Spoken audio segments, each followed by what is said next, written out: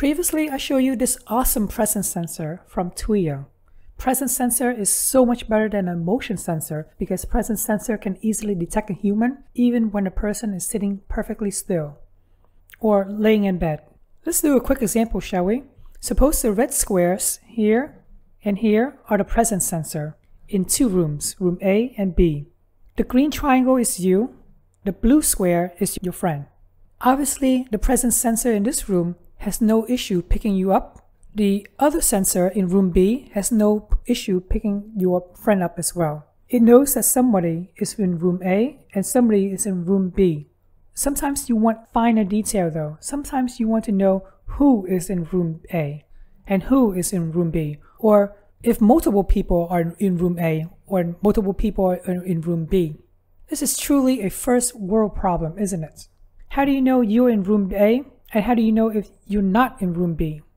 Luckily, a lot of smart people solve this issue. Enter ESPresense. Luckily for us, setting this up is super easy. All you need is a micro USB cable, the charger, the ESP32 chip. Here you can see where you connect the micro USB cable to to power this thing up. Here's a giant antenna that's connected to the ESP chip. Here's a penny for scale or a micro SD card for scale, just to let you see how small this chip really is. It's crazy small. And in this project, we don't have to do any soldering whatsoever. It's all just plug and play. So go ahead and plug the micro USB cable into this end right here and plug the other end of the USB into your computer or laptop. We need to load a firmware into that ESP chip. So go ahead and click on connect. When you plug it into your laptop or desktop, you should see something like this. Go down and try to find something like UART bridge and click on connect. Click on install ESPresense. Check erase device and then click on next. Click on install. Installation does take a while, maybe about uh, 2-3 minutes. Click on next when installation is done. Enter your Wi-Fi access point name and enter the password of that Wi-Fi network and then click on connect. If you're using an Eero mesh network like myself, go ahead and disable 5 GHz because this chip is only 2.4 GHz and then click on connect. For whatever reason, it didn't seem to connect. So eventually I just click on skip. For whatever reason, it refuses to connect to my network. So I just unplug it from the computer and then plug it in directly to the charging plug that you saw earlier. Upon using advanced IP scanner to sniff out the IP address, I found it. When I found on my network, this is the IP address 192.168.1.29 and I log in it immediately. Go ahead and fill in the name of the room that this microchip will be installed. Fill in the MQTT section, the server IP address. The port is default, so just leave it at 1883. Enter your username and password. Click Save, and then click on Restart. Now go to your Home Assistant, click on Settings, Devices and Integrations. Go down to MQTT. And then search by the name of the room that you enter. So mine is basement, for instance. All the way down, you'll see ESPresense Basement. And there you go. This chip is now connected to your MQTT server. I'm not going to go over how to install MQTT on Home Assistant, just because there's so much videos out there already. But I can tell you right now, it's pretty painless. Within 10 minutes to set up this MQTT server. All right, let's add the first device to track. I always have my watch on, so that's really easy to track where I am in the house. This is the watch I'm using right now, Amazfit. This is like about three, four years old and it's still going strong. So assuming if you have a watch or something similar like a phone, go ahead and go into the about section and then you should see something about Bluetooth address. Here you can see my Bluetooth address is all hex, colon, hex, colon, blah, blah, blah. Don't worry about the colon for now, just make a note of all the numbers and letters. Let's jump back into your Home Assistant again. Click on Settings. Go down to Devices and Services. Go all the way down to your MQTT. Search for device, once again it's the basement. And then ESPresense Basement. On the left hand side, click on Visit.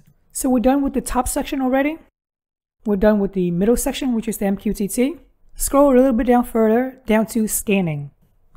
So here you can see I already added some of the MAC address of some of my devices. The first one being my watch. I could wait for the chip to scan all the Bluetooth in my houses. That would take forever. So that's why I manually forced it to look for this watch only. Click on save and then scroll all the way back up and click on restart device. Make a note of the IP address and add to the end of it slash UI. On the left hand side, click on fingerprints. And here you will see all of the devices that is being scanned right now in my house. There's a lot of devices. The part that you care really is the ID. And this is the ID that we'll be using in Home Assistant. You can see the MAC address. You'll also see RSSI. The higher the number it is, the closer it is to the ESP chip. So anything above NAIC 50 is pretty close, as you can see. And obviously at one meter away from the chip, the signal will degrade significantly. Now, in order to get this working with Home Assistant, we need to change the configuration file of Home Assistant. Personally, I like to edit with notepads, so that's why I have the Samba Share working with my Windows machine. I can easily jump to that folder anytime I want to. Here's the configuration file. Double click on it to edit it. In configuration file, if you don't have it already, add it in. This will be sensor colon space exclamation mark include mysensors.yaml. It's going to reference it to another file, which is mysensors.yaml file. I'm going to share this file with you so you can have a nice template to just copy and paste. But basically in mysensors.yaml, it will include all of the MAC addresses. The platform, which is the default, just leave it. The device ID is the device ID that you pull from this website. The name, you can name it whatever you want. The state topic will be this, which is the default and then the device ID. So this line and this line matches. The timeout can be whatever you want as well as a wait timeout. But for me, I'm leaving it at default, which is 10 and 120. Add as many devices as you want to track, and that's basically it. Go ahead and save these two files and restart Home Assistant. For me, I like to use terminal, so click on terminal and then type in HA core restart. It will take about 30 seconds. Once Home Assistant restarted click on Developers Tools Click on states. Here you can see that my phone is online and is located in the basement because I'm right next to it. Well, I should clarify, I'm not in the basement right now, but the ESP chip will be deployed into the basement. My watch, for some reason, it goes to sleep a lot, so that's why it's not home, even though I'm wearing it right now. If you look on the right hand side, it will give you approximate distance. This distance number is absolutely garbage, so I wouldn't rely on it. So the only two information that we can really can use is whether the device is not home or it's in a room somewhere. There's about 10 rooms in my house, so I'll deploy 10 devices. And if my phone is next to the basement, then Home Assistant will report the phone as being in the basement. How does it know where my phone is, in which room? Well, remember with RSSI that you saw earlier, if the RSSI is much higher in the living room, then my phone must be in the living room and no longer in the basement. If I left the house, then I must be not home because none of the devices is picking my phone up. Now you're thinking, whoa, wait a second, this is a freaking privacy nightmare, right? If I can do it, then certainly other people can do it too. Other people can sniff me up and know I'm there. I'm happy to say most modern phones randomize the MAC address. That means at 9 a.m., the phone has a MAC address of AA. At 10 a.m., the phone MAC address will be BB, for instance, something totally different. So there's no way somebody can just sniff you out and know that you're visiting their place at uh, certain hours of the day, for instance. Obviously, this is a huge problem for you because you want to track yourself in your own house.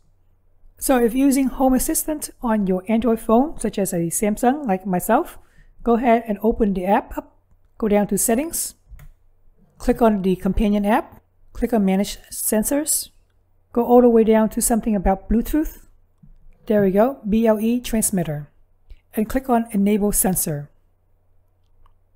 Once you've enabled the BLE transmitting, go ahead and go back to the ESPresense website. Try to find something something relating to iBeacon. And there you go.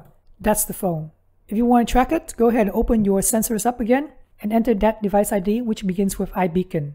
And then the same thing down in state topic. Now, if you have Apple stuff like iPhones or iPad, it's a little bit different.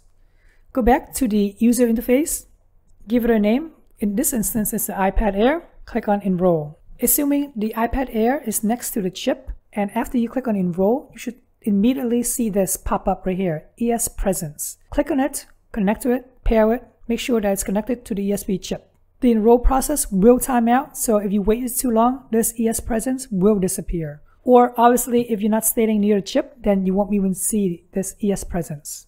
Once it's successfully paired with the chip, you'll see it immediately pop up for the device ID, which would be the exact same device ID that you gave it earlier, which is iPad Air. So don't forget to change the device ID as well as the state topic. Alright, it was fun making this video. Hopefully you found it useful. I really appreciate you guys subscribing to my channel and thanks for watching.